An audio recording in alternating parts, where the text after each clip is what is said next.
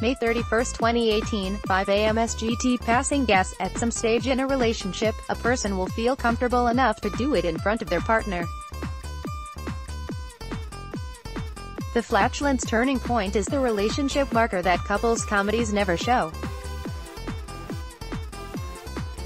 Mexican filmmaker Patricia Martinez de Velasco, however, addresses it in her drama comedy Aquí Entre Nos, English title Between Us, 2011. To read the full article you have reached one of our premium stories. To continue reading, get access now or log in if you are a subscriber. What is premium?